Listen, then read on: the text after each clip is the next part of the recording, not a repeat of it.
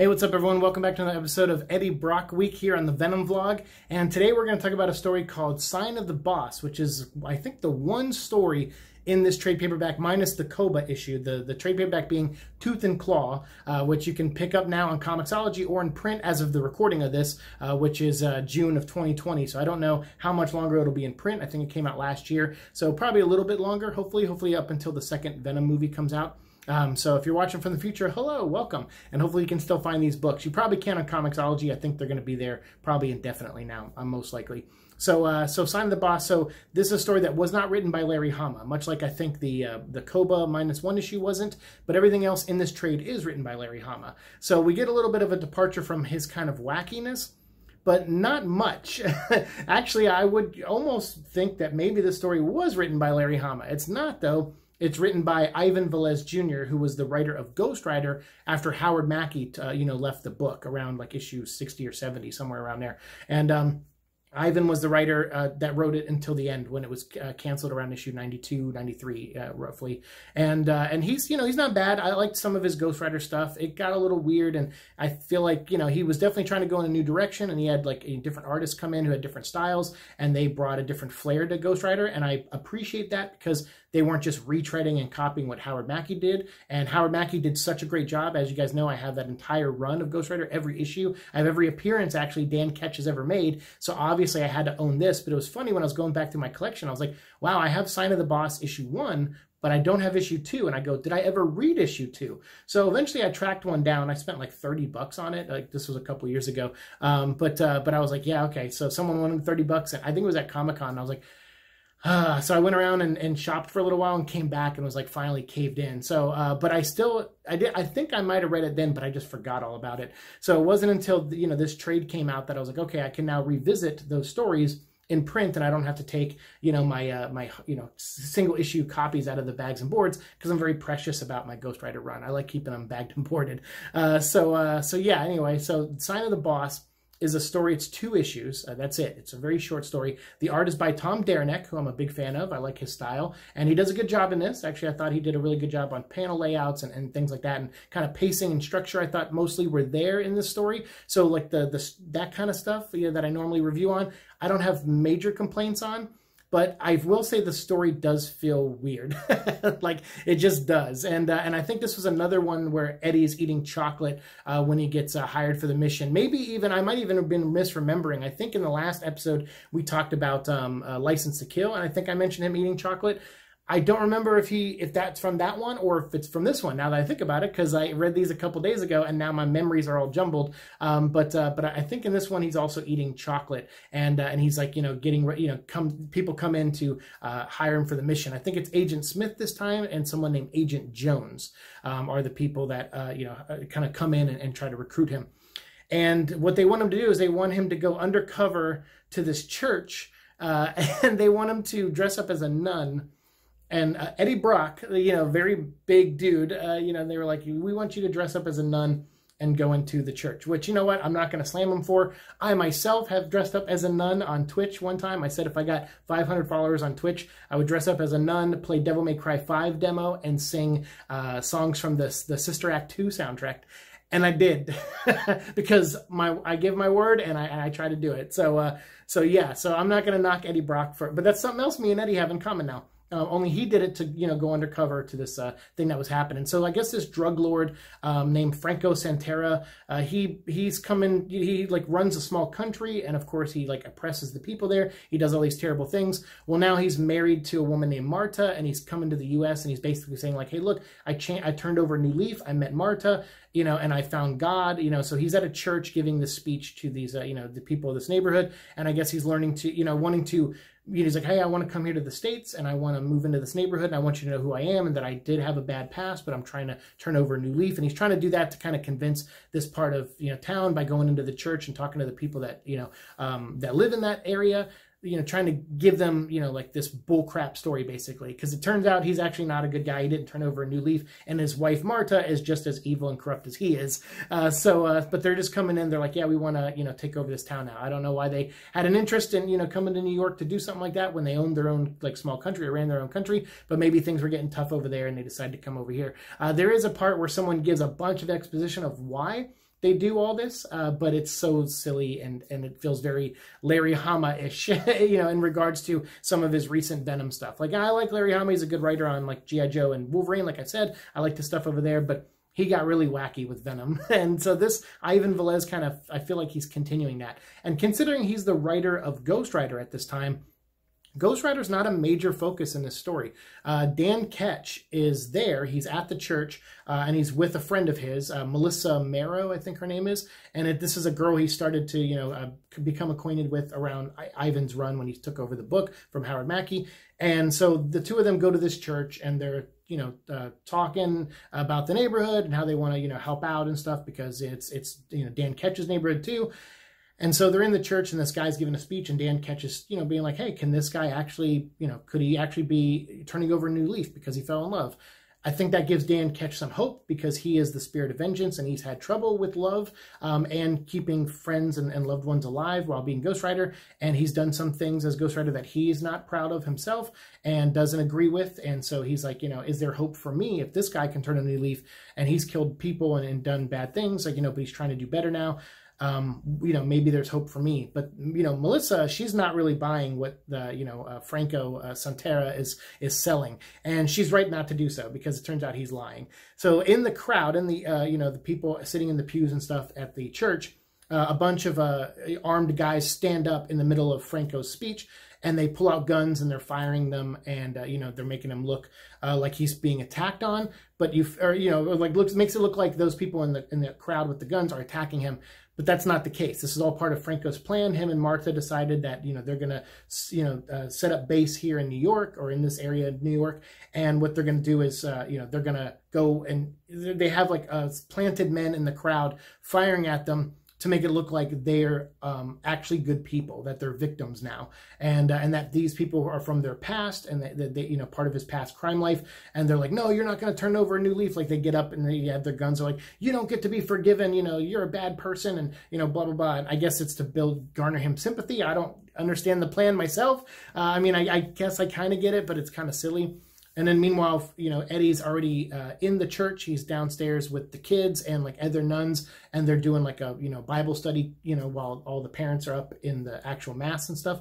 And so, uh, so they're down there, and then the kids get attacked by this guy comes in with a gun, and Eddie knocks him out and reveals himself uh, to be Venom and in front of everybody. So that was kind of a cool thing. There's also a, a, pre, uh, a priest. There, there is a priest there, um, and I can't remember his name, Father something. And then there's Sister Marianne, and Marianne, she's one of the other nuns that's helping Eddie with the kids downstairs. So Eddie turns to her and he's like, "Hey, you know, guard these kids. Here's you know the guy's gun. Make sure no one else comes down here. I know you're a nun, and you know you're not supposed to kill people or whatever, uh, but make sure you keep these kids safe. I'm gonna go up and see what's going on upstairs." And so Eddie goes up there. So this is what the agents wanted to put Eddie here for. They knew something was up with Franco, and so they planted Eddie here, you know, that morning so that he could be there when Franco gave his speech. And turns out what the agents felt was going to happen was exactly what happened. I thought you could have got the exposition from the agents. Maybe they figured out that Franco had this bullcrap plan, and you just got your exposition from them. That would have made sense. But instead, they have this other character in there called Tarek uh, Terrachnid, who's this guy who, like, in the crowd of you know normal goons who stand up with guns, this one stands up, this one person stands up, Terrachnid, takes off his trench coat and you see that he has like eight spider legs and he's like a, you know like a, like a robot half human half robot it almost like reminds me of a reaver from the x-men um, only just a spider version like a spider slayer version of him um, so anyway Terrachnid stands up and attacks and then venom fights him and the two go at it. I think in the in the brouhaha, uh, the uh, you know the because Franco's like, no, this wasn't supposed to happen. Like, why is Venom here? What's going on? This is ruining my plans. And then that's when uh, the priest, accident, you know, someone shoots him on accident, and the priest gets wounded. So he's kind of bleeding out through most of the story, and that's so that's the ticking time clock, right? You got to have those in some of your stories. It's a story point structure. It's like, all right, we got to save a life, and so the priest is slowly dying. And Eddie, I think, even has a point where he says, "Hang on, Padre, I'll help you in a second. and you're just like. okay, like, all right, at least he acknowledged it, I guess.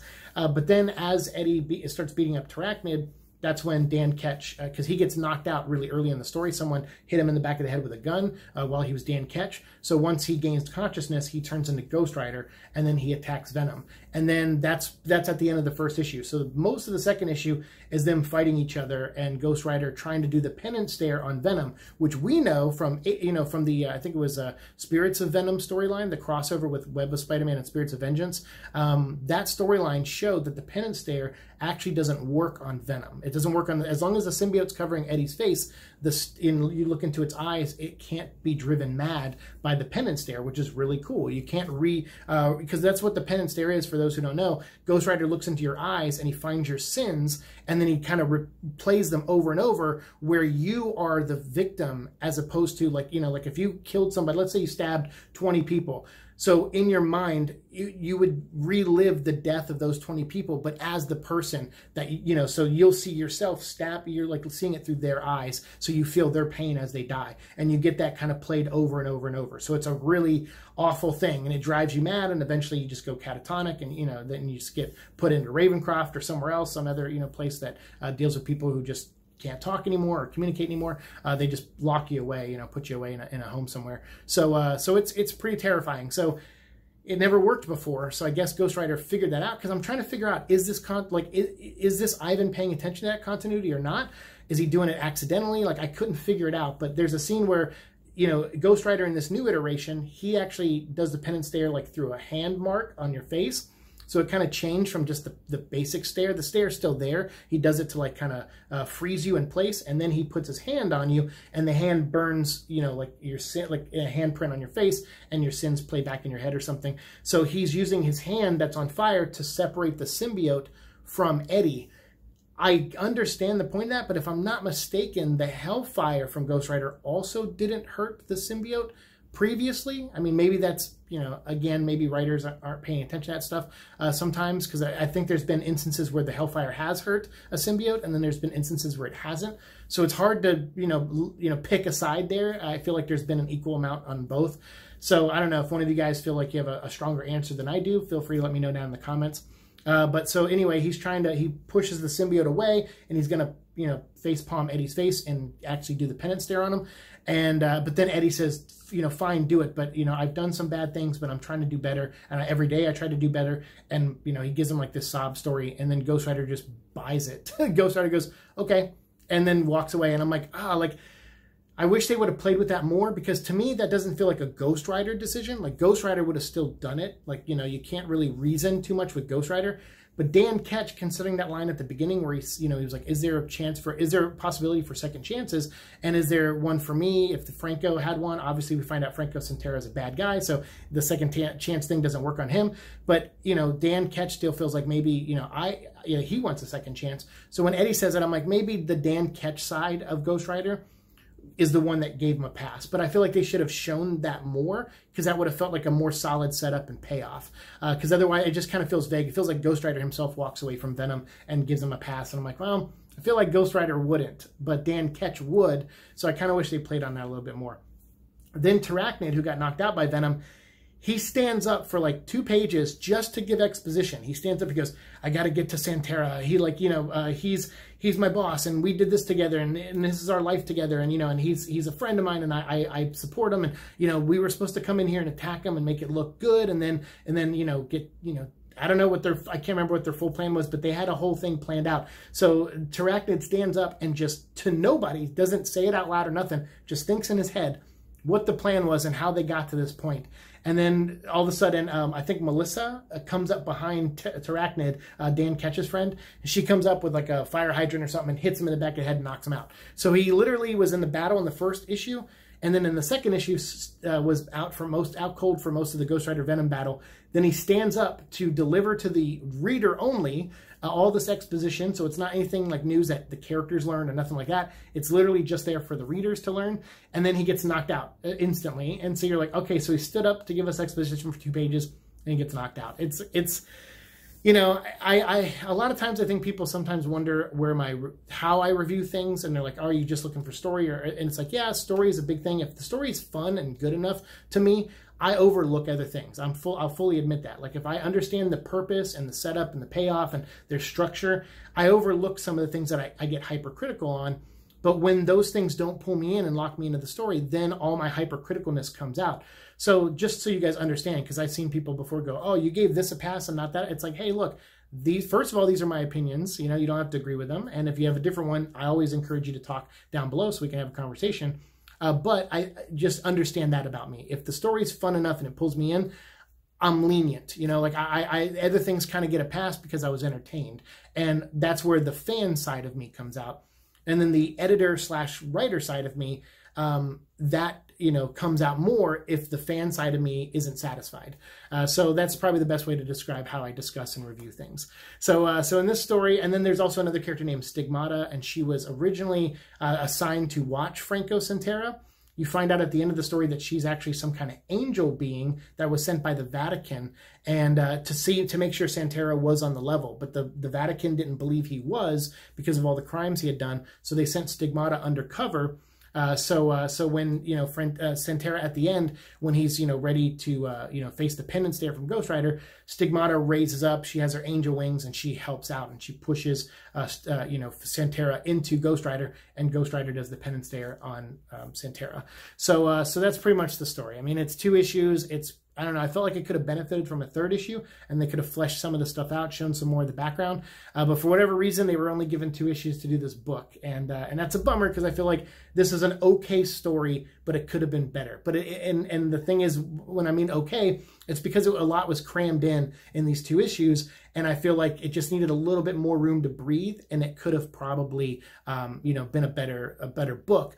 Or if you only had two issues to do this, I wouldn't have done this story. I just wouldn't have had it set in a church with a guy trying to, you know, that's too much plot. It's like it like that's what this book suffers from. Is it's plot, plot, plot, plot, plot, plot, plot, and you're like, okay, but like there's no room for real character stuff or or or any cool moments really. Like you know, you just kind of throw everything in there because you're trying to squeeze in a Venom versus Ghost Rider battle, and then you get this Terracnid character and Stigmata and the Vatican's involved, and you have all these things that like I don't know. They some of them tie into uh, you know uh, Ivan, uh, Ivan Velez's uh, Junior's you know his Ghost Rider run. Some of it, but again, that's what I feel like. I feel like Larry Hama, Ivan, like sometimes they they, they got you know invited on to do these books, and they're like, all right, let's bring stuff we did from other books into it, and it's like, well, that's fine, you know, because I guess you want some cross pollination, hoping that people will go read your other stuff but there wasn't a lot of you know mess you know normally editors will go oh this happened in this book or or we're referencing this and you know to follow find more about stigmata go check out this book or whatever. There's really none of that in there because most of these characters you never see again in comics. Uh, so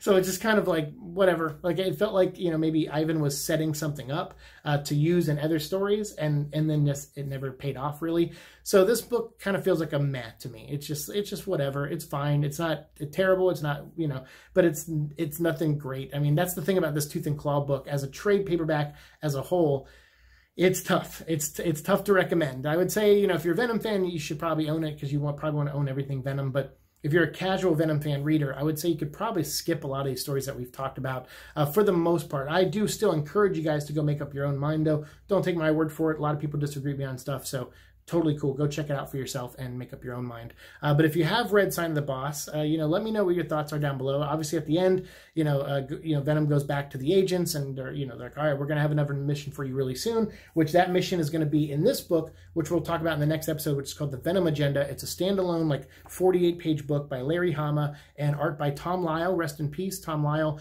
uh, die, uh, passed away. You know, died a few months ago from a brain aneurysm. And uh, as you know, I'm a brain aneurysm survivor, and so hearing that really broke my heart because he was one of my favorite artists growing up as a kid. So I remember loving this book as a kid, but now as I reread it as an adult, I remember why I loved it. It's definitely Tom Lyle's artwork, and it's definitely not the story uh, for sure. And we're going to get into that in the next episode. So this is going to be another Larry Hama downer one, uh, but uh, we'll have some fun. I'll bring the toys back, and you know you guys can see uh, some reenactments from our friend Wiener Schnitzel, and uh, he'll do some reenactments of the battle in this book uh, with Spider-Man and Venom.